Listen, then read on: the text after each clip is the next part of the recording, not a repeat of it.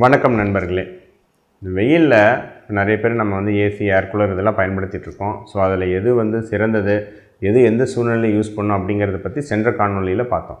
So இப்போ AC பயன்படுத்துகிறத பற்றி நிறைய குழப்பங்கள் இருக்குது நிறைய மக்களுக்கு கொஞ்சம் காஸ்ட்லியான விஷயமா இருந்தாலும் வெயிலோட தாக்கம் தாங்க முடியாதுன்னா நிறைய பேர் நாள் கஷ்டப்பட்டு வாங்கி இப்போ வந்து பயன்படுத்த ஆரம்பிக்கிறாங்க. ஆனால் நிறைய குழப்பங்கள் இருக்குது என்னென்னா ஏசினால் வந்து நுரையீரல் பாதிப்பு வருமா? ஏசி பயன்படுத்தினா சளி பிடிக்குமா? சரிங்களா? குழந்தைங்களுக்கு ஒத்துக்குமா?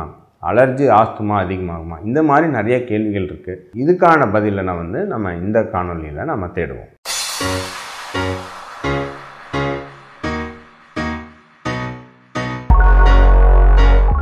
சென்ற காணொளி பார்க்காதவங்களுக்கு ஏசி பற்றி நம்ம ஒரு சின்ன இன்ட்ரோ கொடுத்துருவோம். ஏசி எப்படி வேலை செய்யுது அப்படின்னு வந்து பார்த்திங்கன்னா இப்போ நம்ம ரூமுக்குள்ளே ஒரு யூனிட் இருக்குது ரூமுக்கு வெளியே ஒரு யூனிட் இருக்குது வெளியே இருக்கிறது நம்ம கம்ப்ரஸர் அப்படின்னு சொல்லுவோம்.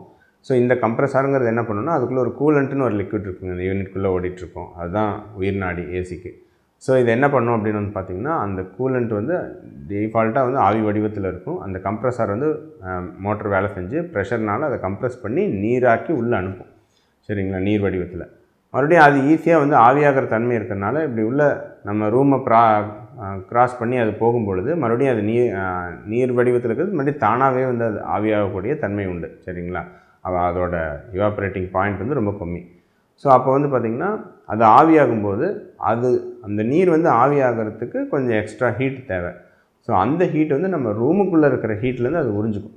சரிங்களா? ஸோ உறிஞ்சு அது மறுபடியும் ஆவியாயிடுது. மறுபடியும் அந்த கம்ப்ரஸர் அதை வந்து ப்ரெஷர் மூலமாக அது மறுபடியும் நீராக்கி உள்ளே தள்ளுது. ஸோ இதுதான் ஒரு சிம்பிள் சைக்கிள் ஸோ சிம்பிளாக சொல்லணுன்னா புரியிற மாதிரி உள்ளே இருக்கிற ஹீட்டை வெளியே தள்ளுது. அவ்வளோதாங்க சரிங்களா? ஸோ ரொம்பலாம் யோசிக்க தேவையில்லை. ரொம்ப ஃபிசிக்ஸெலாம் நம்ம உள்ளே போக வேண்டாம். உள்ளே இருக்கிற ஹீட்டை எடுத்து வெளியே இருக்கிற யூனிட்டில் வெளியே தள்ளுது அப்படின்னு நம்ம சிம்பிளாக ஞாபகம் வச்சுக்கலாம் அதுதான் வந்து கரெக்டு கூட.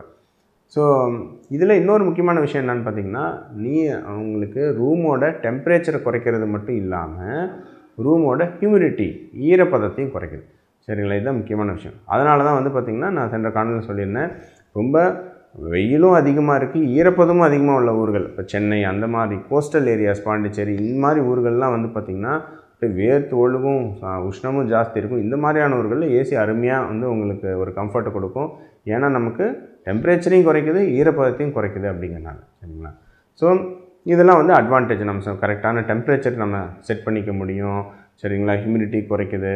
ஆ, சரிங்களா இந்த மாதிரி. அப்புறம் இப்போ நிறைய ஏசிலாம் வந்து பார்த்திங்கன்னா பேக்டீரியல் ஃபில்டர் அதெல்லாம் சொல்கிறாங்க அதெல்லாம் எவ்வளோ எஃபெக்டிவ்ங்கிறது தெரியல. சும்மா அந்த ஃபில்டரில் பேக்டீரியல் ஃபில்டர்னு வச்சுருக்காங்க. காற்று அது வழியாக பாஸ் பண்ணி போகும்போது பேக்டீரியா இருந்தாலும் அழிஞ்சிடும்னு சொல்கிறாங்க பட் இதெல்லாம் அந்தளவுக்கு கரெக்டாக அப்படிங்கிறது எனக்குமே தெரியல. இந்த எலக்ட்ரிசிட்டி காஸ்ட் அதெல்லாம் ஜாஸ்தியானாலும் ஒரு கம்ஃபர்டபுளான தூக்கத்தையும் ஒரு இதையும் கொடுக்குது. சந்தேகம் என்னன்னா ஏசினால் வேறு என்ன பக்க விளைவுகள் வரும்? நமக்கு வந்து எது எதெல்லாம் வந்து நமக்கு ஒத்துக்காது அப்படிங்கிற ஒரு கேள்வி வருது.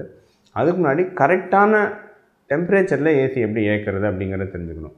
இருபத்தி நாலுலேருந்து இருபத்தி ஆறு டிகிரி செல்சியஸ். இந்த இதில் தான் வந்து பார்த்திங்கன்னா நீங்கள் ஏசி வந்து இயக்கணும். ஸோ முக்கியமான விஷயங்கள் அதுதான். ஸோ நிறைய பேர் வந்து என்ன தப்பு பண்ணுவாங்க அப்படின்னு பார்த்திங்கன்னா ரொம்ப ஒரு பதினெட்டு டிகிரி அந்த மாதிரி வச்சுருவாங்க. அது வந்து தப்பு. ஏன் அப்படின்னு வந்து பார்த்திங்கன்னா ரொம்ப கம்மியாக வச்சோம் அப்படின்னா அந்த டெம்பரேச்சருக்கு நம்ம உடம்ப அடாப்ட் பண்ணுறதுக்கு நாம் எக்ஸ்ட்ரா கலோரியை நம்ம உடம்பு வந்து எரிக்கிற மாதிரி இருக்கும். ஸோ ஒரு இருபத்தி நாலுலேருந்து இருபத்தாறு டிகிரி செல்சியஸ் தான் தெர்மோ நியூட்ரல் என்விரான்மெண்ட் அப்படின்னு சொல்லுவோம். அதாவது என்னென்னா நீங்கள் ரொம்ப ஹை டெம்பரேச்சராக இருந்தால் இப்போ ரூமில் டெம்பரேச்சர் முப்பது முப்பத்தி ரெண்டு டிகிரி செல்சியஸாக இருந்துச்சுன்னா நம்ம வந்து அந்த கொஞ்சம் உடம்பு குளிர்ச்சி ஆக்கிறதுக்கு நம்ம உடம்பு எல்லாம் வேர்த்து ஹீட்டை ரிலீஸ் பண்ணும். ரொம்ப நீங்கள் பதினெட்டு இருபது டிகிரின்னு வச்சிங்கன்னா நம்ம உடம்பு நார்மல் டெம்பரேச்சர் நம்மளுக்கு முப்பத்தேழு டிகிரி செல்சியஸ் தானே உடம்புக்குள்ளே. அதை மெயின்டைன் பண்ணுறதுக்கு மறுபடியும் உஷ்ணத்தை வந்து உருவாக்கிட்டு இருக்கோம் அது இதையும் உடம்பு கஷ்டப்பட்டு. ஸோ இருபத்தி நாலுலேருந்து இருபத்தாறு டிகிரிங்கிறது கொஞ்சம் ஒரு கம்ஃபர்டபுளான டெம்பரேச்சர் அது சின்ன குழந்தைங்களாம் இருக்காங்கன்னா தாராளமாக நீங்கள் ஒரு இருபத்தாறுலேருந்து இருபத்தெட்டு டிகிரி செல்சியஸ்க்குள்ளே வைக்கலாம். இதுதான் ஏசி இயக்க வேண்டிய கரெக்டான செட்டிங்ஸ் சரிங்களா? இருபத்தி நாலு டிகிரிக்கு கீழே ஏசியை பயன்படுத்துறது உடம்புக்கும் நல்லதில்லை. அப்புறம் எலக்ட்ரிசிட்டி பில்லுக்கும் நல்லதில்லை. உங்கள் பர்ஸுக்கும் நல்லதில்லை. சரிங்களா? ஸோ இருபத்தி நாலு டிகிரி கீழே தயவு செஞ்சு ஏசி இயக்கி சும்மா போர்வை போட்டு படுத்துட்டு இருக்காதீங்க. அது தவறு. ஏசினால் என்னென்ன பிரச்சனைகள் வரலாம் யார் பயன்படுத்தக்கூடாது?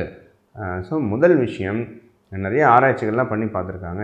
ஏசி வந்து உங்களுக்கு ஈரப்பதத்தை குறைக்கிறதுனால ஆல்ரெடி வந்து உங்களுக்கு வந்து பார்த்திங்கன்னா கொஞ்சம் சளி பிடிச்சவங்க அல்லது அலர்ஜி ப்ராப்ளம் உள்ளவங்களுக்கு ஏசி வந்து ஈஸியாக சில அறிகுறிகள் உண்டாகும் என்னென்னு பார்த்தீங்கன்னா நிறைய பேர் அலர்ஜி ப்ராப்ளம் இருக்கவங்களாம் கவனிச்சிருப்பீங்க. ஏசியில் படுத்தாங்கன்னா ஈஸியாக மூக்கடைச்சிக்கும் ஏன்னா அவங்களுக்கு ஆல்ரெடி ரொம்ப காற்று வந்து ரொம்ப ட்ரை ஆகிடுது சரிங்களா? வறட்சி ஆகிறதுனால உங்களுக்கு மூக்கெல்லாம் அப்படியே ஒரு அடைச்ச மாதிரி ஆகிடும் நிறைய வந்து கண்ணெல்லாம் எரியற மாதிரி இருக்கும். ஏன்னா வந்து அந்த ஈரப்பதம் குறையினால அப்படியே அந்த கண்ணிலே ஈரப்பதம்லாம் குறைஞ்சி நம்ம கண்ணெல்லாம் எரிச்சல் இருக்கிற மாதிரி இருக்கும். ஸோ ஒரு இந்த மியூக்கஸ் நேசல் ஒரு இரிட்டேஷன் இந்த வறட்சினால் ஒரு கண் எரிச்சல் இந்த மாதிரி அறிகுறிகள் வரலாம். ஸோ இது வந்து நம்ம கவனிச்சுக்கணும். ஸோ ஆல்ரெடி அப்புறம் ரெண்டாவது இன்ஃபெக்ஷன் கிருமி தாக்கங்கள். ஸோ இப்போ ஏசி ஒரு ரூமில் படுக்கிறீங்க அப்படின்னா இப்போ நம்ம வெளிக்காற்று கிடையாது. ஏன்னா நம்ம ஜன்னல் கதவெல்லாம் க்ளோஸ் பண்ணிடுறோம் கூலிங் எஃபெக்டாக ஸோ வெளி ஏர் சர்க்குலேஷன் கிடையாது. ஸோ அந்த சமயத்தில் இப்போ யாராவது ஒருத்தருக்கு சளி பிடிச்சிருக்கு அல்லது ஒரு இன்ஃபெக்ஷன் இருக்குது அப்படின்னா ஈஸியாக ரூமில் இருக்கிற எல்லாத்துக்கும் பரவிவிடும். சரிங்களா? முக்கியமான விஷயம் ஈஸியாக மற்றவங்களுக்கும் அந்த கிருமிகள் வந்து பரவிடும். யாருக்காவது சளி பிடிச்சிருக்கு அப்படின்னா நாம் வந்து ஏசி வந்து பயன்படுத்துகிறத தவிர்க்கணும். அல்லது அவங்க இன்னொரு ரூமில் தனியாக படுத்துக்கிறது நல்லது. இல்லாட்டி ஈஸியாக ஒரு நைட்டு படுத்தாங்கன்னா அப்படியே நா நாலு பேர் படுக்கிறாங்கன்னா நாலு பேர்த்துக்கும் அந்த சளி வந்து பரவிடும். ஸோ இதை வந்து நம்ம தவிர்க்கிறதுக்கு ஏற்கனவே சொல்லியிருந்தோம். அலர்ஜி இருக்கிறவங்க நம்ம என்ன பண்ணணும்? ஈரப்பதம் நம்ம குறையாமல் இருக்கிறதுக்கு ரூமில் வந்து பாத்திரங்களில் தண்ணீர் வச்சு ஓப்பனாக பயன்படுத்தலாம். அல்லது சில ஈர துணிகள் ஒரு துண்டு மாதிரி ஒரு ஓரத்தில் வச்சிடலாம். அதெல்லாம் வந்து அப்புறம் சில செடிகள் ரூமுக்குள்ளே வச்சுக்கலாம். இதெல்லாம் பண்ணோம்னா ரூமோட ஈரப்பதம் ஒரு அளவுக்கு மேலே குறையாமல் இருக்கும். ஸோ இதனால் வந்து பார்த்திங்கன்னா ரொம்ப ட்ரை ஆகாமல் பார்த்துக்கலாம் சரிங்களா? அதே மாதிரி சின்ன குழந்தைகள் அதெல்லாம் இல்லை ஆல்ரெடி அலர்ஜி இருக்குது அப்படின்னா அந்த ஏசியில் அந்த ப்ளோயர்லேருந்து ஒரு காற்று வருதுங்களா அது நேராக நம்ம மூக்குக்கு நேராக வந்து வராமல் இருக்கிற மாதிரி படுத்துக்கணும். ஸோ நாம் இங்கே படுத்திருக்கோம் அப்படின்னா ஏசியோட இந்த நேரடி ப்ளோ வந்து ஒரு இன்னொரு இடத்துல படுற மாதிரி இருக்கணும். நம்ம வந்து ஜஸ்ட் அந்த கூலிங் எஃபெக்ட் மட்டும் அனுபவிக்கிற மாதிரி இருக்கணும். யாருக்காவது இந்த மாதிரி மைல்டாக இன்ஃபெக்ஷன் இருக்குது இப்போ ஏசியில் தான் படுக்கணும் அப்படிங்கிற மாதிரி சூழ்நிலை இருந்தால் அப்பப்போ ஜன்னலை வந்து நம்ம திறந்து விட்டுக்கணும். இப்போ ஃபுல்லாக திறந்து வச்சுருந்தா வேஸ்ட்டு கூலிங் ஆகாத ரூமு அப்பப்போ ஜன்னல் வந்து திறந்து வச்சுட்டு கொஞ்சம் வெளிக்காற்று அந்த சர்க்குலேஷன் வந்து நம்ம என்கரேஜ் பண்ணணும். இந்த மாதிரி சின்ன சின்ன விஷயங்கள் பண்ணிட்டா கொஞ்சம் இந்த அலர்ஜி இந்த மாதிரியான விஷயங்கள் அதிகமாகாமல் நம்ம பார்த்துக்க முடியும். மூக்கு சுவாச குழாய் அலர்ஜி மட்டும் கிடையாதுங்க. நிறைய பேத்துக்கு ட்ரை ஸ்கின் இருக்கும். வறண்ட சருமம் அதனால் எக்ஸிமா அப்படின்லாம் சொல்லுவாங்க. வறண்ட சருமம் அதுக்கு மாய்ஸ்சரைசிங் லோஷன்லாம் போட்டு ட்ரீட்மெண்ட்லாம் பண்ணிகிட்டு இருப்பாங்க. அந்த வறண்ட சருமம் இருக்கிறவங்களும் ஏசியில் வந்து ரொம்ப அதிக நேரம் இல்லாமல் பார்த்துக்கணும். ஏன்னா வந்து அதுவும் வறட்சியான சருமத்தை வந்து மோசமாக்கலாம்.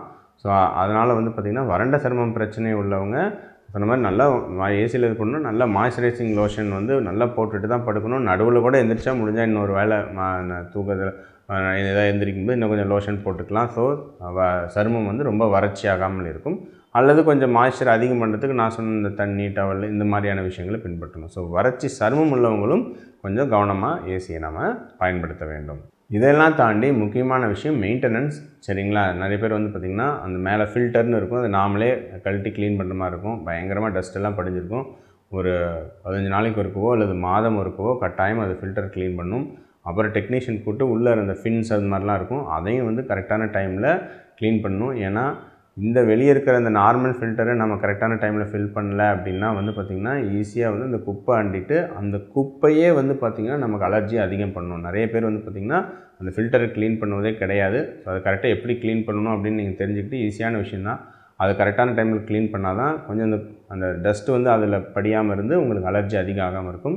அப்புறம் இந்த ஃபின்ஸுக்குள்ளே நிறைய டைம் வந்து பார்த்திங்கன்னா ஃபங்கஸ் இந்த புஞ்சை காளான் இந்த மாதிரி பிரச்சனைகளும் வரத்துக்கு வாய்ப்பு இருக்குது ஸோ அதனால் வருடம் ஒருக்கவோ இல்லை ரெண்டு வாட்டியோ அந்த ஏசி டெக்னீஷியன் கூப்பிட்டு அவங்க இன்னும் கொஞ்சம் டீப்பாக க்ளீன் பண்ணுவாங்க. நிறையா ஸ்ப்ரே அந்த மாதிரிலாம் அடித்து ஸோ அதையும் கரெக்டான டைமில் பண்ணிக்கணும்.